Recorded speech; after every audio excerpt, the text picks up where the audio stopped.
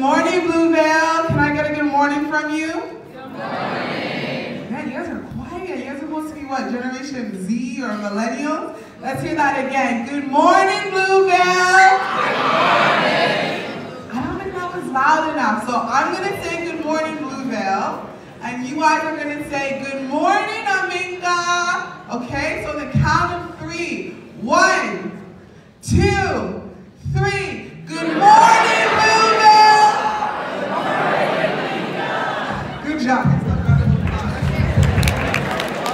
As you guys can see and you demonstrated, I have a lot of energy. So my name is Aminka Belvitt. I do a lot of things in life. Um, some of the most important things, I'm a social and tech entrepreneur. I run a foundation to empower young women and girls. I run a tech company and just I'm a regular person in the world trying to live a sustainable world and create more equitable communities. Right? Cool? Okay, you can clap if you want. It's okay. It's okay. You. So I do a lot of speaking engagements in Canada and throughout the world and workshops. And before I go further into my content and the conversation we're going to have today, I always collect some statements of consent. I believe in consent. It's an agreement between two people or two individuals or groups that you are agreeing to what you're going to experience. So I'm going to get some statements of consent from you all today, and if you agree, just say, I agree. Cool? Okay, so I am going to be open today to explore new ideas, new thoughts, and new perspectives. If you agree, say, I agree. Okay, so second statement of consent. I agree to listen to my others who are next to me and hold space for them should they be triggered in this experience we're going to have today. If you agree, say, I agree. Okay, so let's get this started. So today I've been asked to talk about leadership. Does anyone know what the term leadership means? Raise your hand. Some of you guys do, few, maybe no. Okay, that's okay. If that's why I'm here, right, to have this conversation. So we're going to talk about leadership today. What does that mean? What does it mean, as you see my talk says, developing your divine potential? I believe that every person in the world and their abilities that they have can be a leader. I feel that sometimes our systematic institutions marginalize individuals and place what type of leader they can and cannot be. I am a defined leader. I feel that I'm a born leader, but I wasn't always this person that you see today. I had a personal journey that you all have, that you're going on right now. What I'm going to do today is talk about my personal journey, what traits of leadership that you could use in your life, whatever you choose to do in the world, and how you can make your mark on the world. In 10 years, it's going to be 2030. Think about that. 2030, the existence of humanity. Something has to change. Something magical has to happen, and it's going to come from you. You are the generation that's going to fight climate change. You are the generation that's going to figure out the best form of artificial intelligence. You are the generation that's going to finally serve world hunger, right? So you must have all the abilities to do that, right? Okay, let's get started. Next slide, please.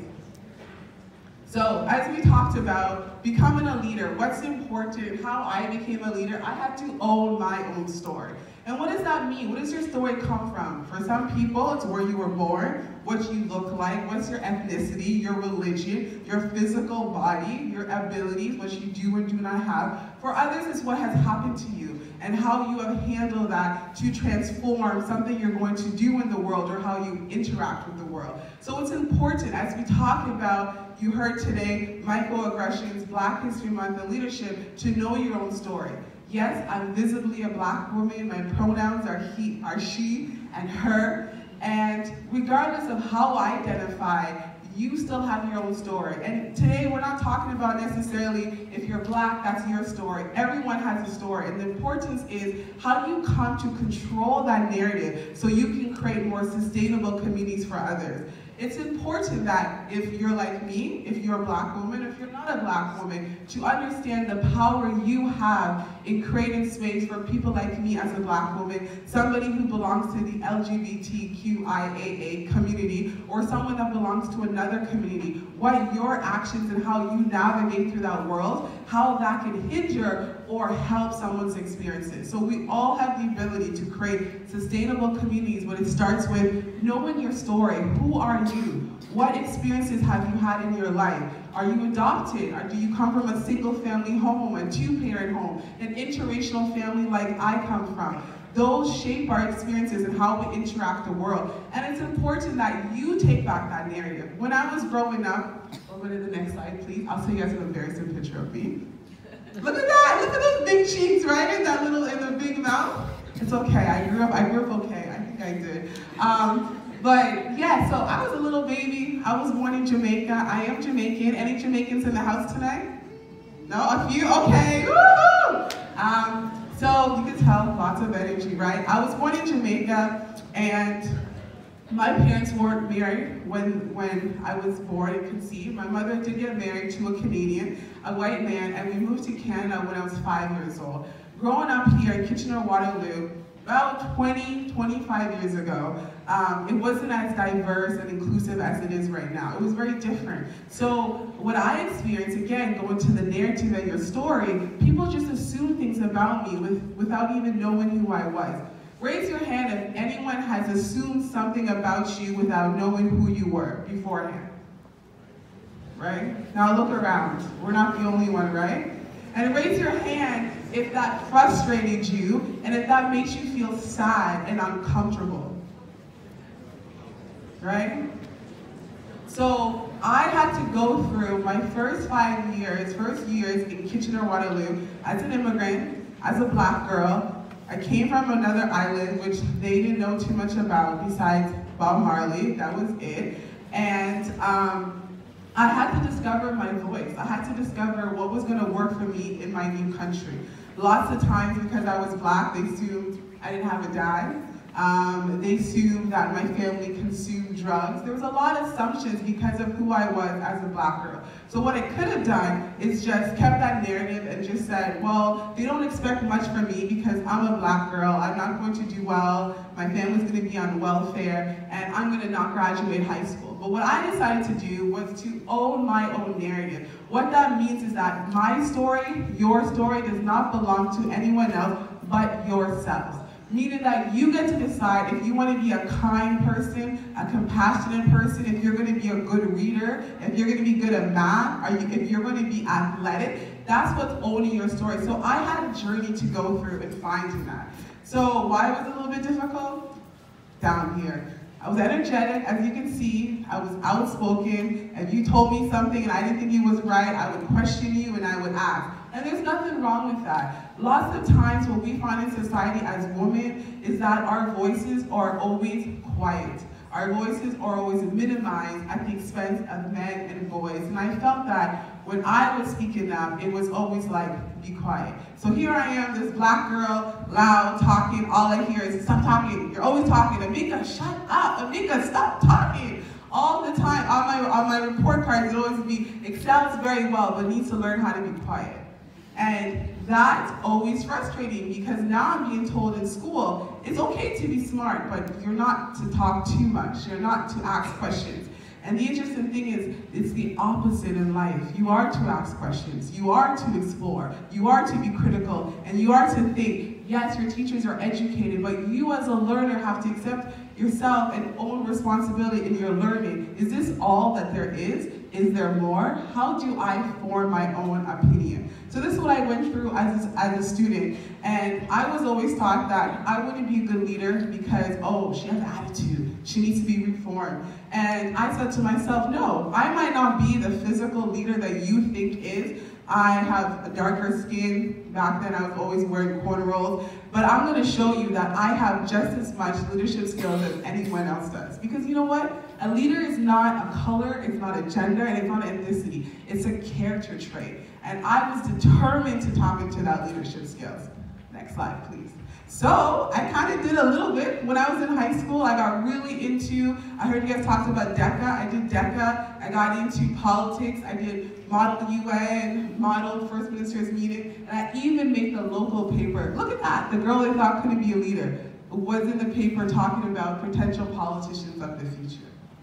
And then when I finished high school, and let's be honest, high school is very difficult to go through. Raise your hand if you're having a hard time in high school. Let's be honest. Okay, turn around, turn around. And those who didn't raise your hand, it's okay. It's a safe space. You can admit if you are having a hard time. It is okay. Well, I'll be honest with you today. High school was difficult for me, not academically. Again, I was very smart. I've always been a smart person. It was hard for me because I was navigating what is your story, Aminka? What is going on? One minute I'm getting leadership awards, the next minute I'm not, next minute I'm having conflict with my teachers, the next minute I'm not handing my papers. I was battling what the world was thinking of me and what I wanted for myself. And why I was having those issues, I didn't have a lot of teachers who looked like me. I have a few, one of them is here today, Ms. Smelly, and I had a few others that were black, but there weren't that many. And it was very difficult as a black person trying to find your voice in a space that doesn't resemble you. And that's my story. Your story might be that you love a certain hockey team and nobody supports that hockey team because of the city that you're in. And that might frustrate you. Or it might be that you are you're battling your orientation it's difficult for you to come out with your family. Everyone has different things that they're battling, but the most important thing is figure out what that is and how do you separate yourself from the negativity of the world. So what I had to do was realize, Aminka, what do you want in life?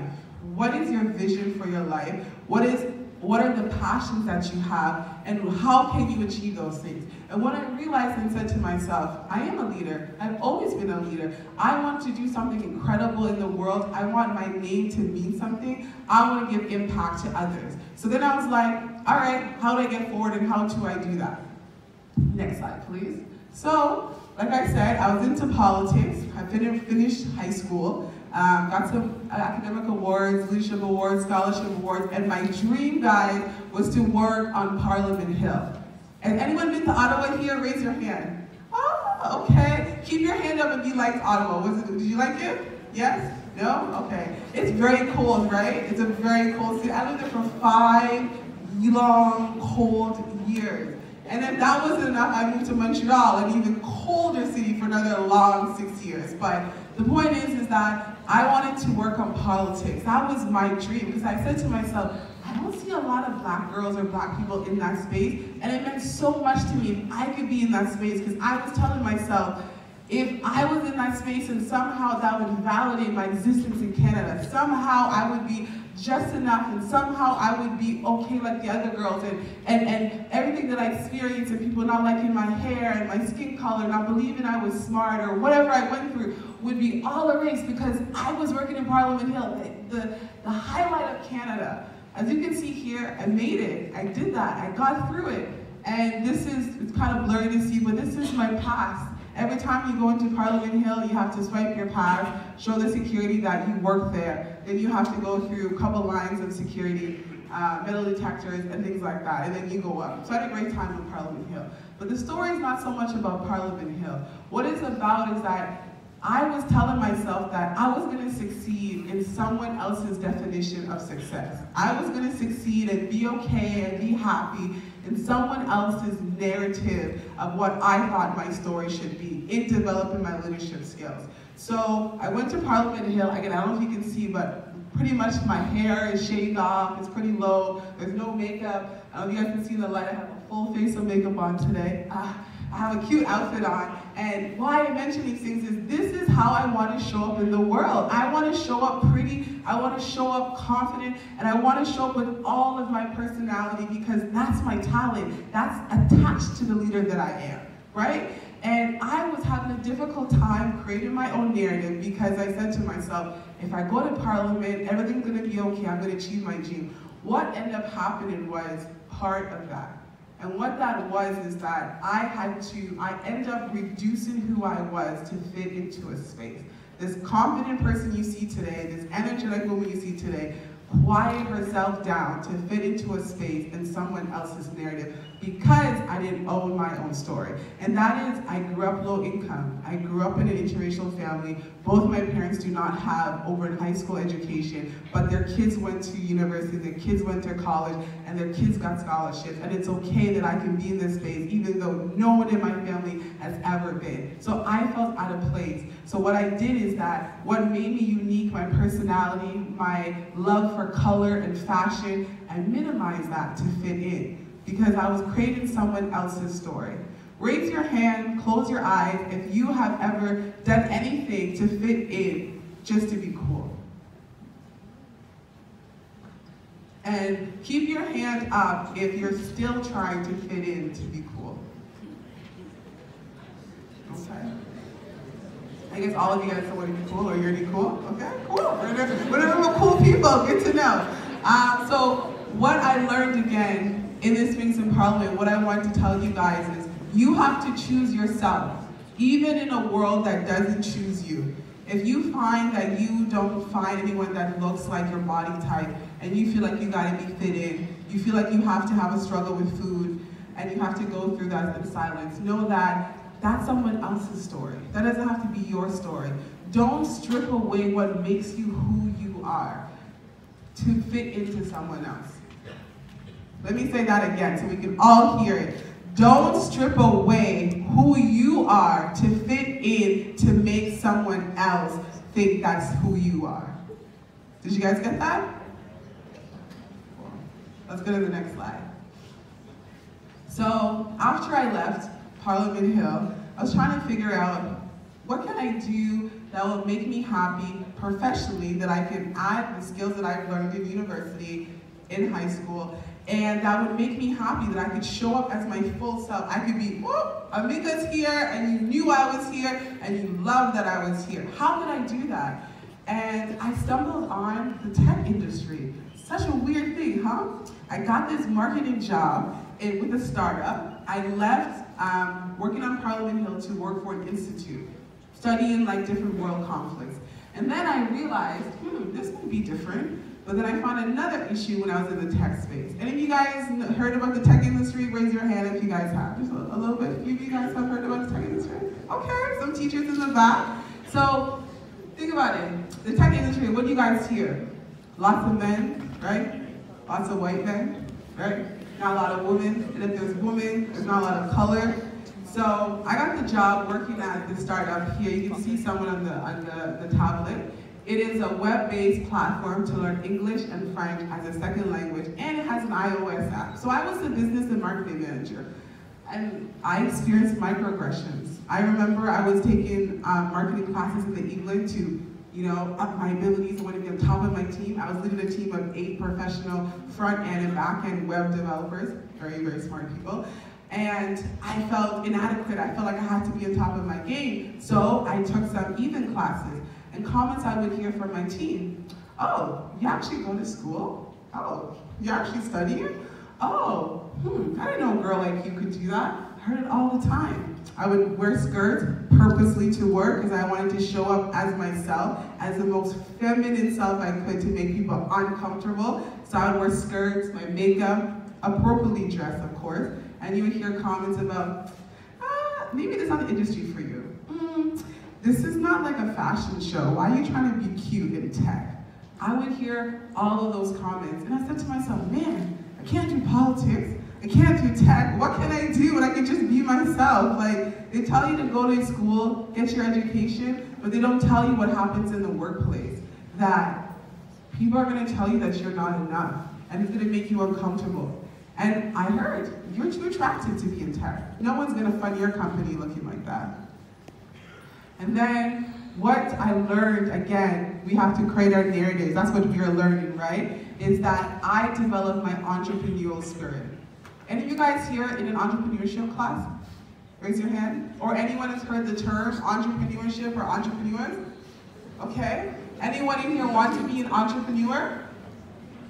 Some of you? Yes, maybe? Good. Just enough. There were more boys than girls who put their hand up once being entrepreneur. Ladies, you can do it. You can become an entrepreneur.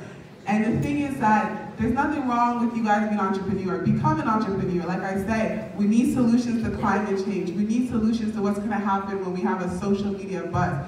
But ladies, feel just as comfortable to own success. Feel just as comfortable to innovate, try, and fail. That's one thing that we don't tell girls enough. You can fail and be okay. Try it out. Men do it all the time. And men continue to fail because women are going to be there to help you clean it up. So, you guys like that one, huh? Good. So what I learned is that, hmm, they're not liking how I dress, they're not liking how I am, even though I brought the most money to the startup ever. I secured contracts for the school board that was never done in 10 years for this company. And I said to myself, yeah, you guys give me a round of applause. Thank you, thank you. Thank you very much. And I was like, wait a minute, I'm an entrepreneur. Like, look what's happening to me. I can go out there, sell a product with a little bit of resources, have people believe in me, and make things happen on my own without a boss telling me what to do. I was like, huh, what else can I do become an entrepreneur? And I will tell you, my experience in tech and going to this industry changed my life. I never viewed myself as an entrepreneur. I viewed myself as a leader, but this was the moment that I tapped into my highest leadership capability. There's tiers in becoming a leader, and we'll go into talking about what those tiers are. You don't have to be an entrepreneur where you want to start your own business because I mean, unless you have a lot of money up front, it can be a real struggle, let me tell you, it can. And, but what you can do is have the entrepreneurial spirit, meaning that if something doesn't exist where you are in your school, in your university, in your home, your hockey team, I see some of you guys got your Rangers caps on, shout out Rangers, um, you can go ahead and go out and start it. An entrepreneurial spirit is saying that I'm not gonna wait around for an institution to create an idea that I think should really exist. It's in time with leadership. Becoming a leader is saying that, oh, no one knows how to sort the garbage on the compost. Let me take initiative and start a recycling club. Oh, we don't have any halal options in the cafeteria. Let me talk to the cafeteria person so we can have a halal. Oh, there's no prayer space for those who want to pray on Fridays afternoon. Let me try to do that. It's taking that push that you hear yourself in your voice and to say, let me try this out. And then you say a little bit louder, let me try this out. And then you hear, let me try this out, out loud. And then you say, oh, it actually worked.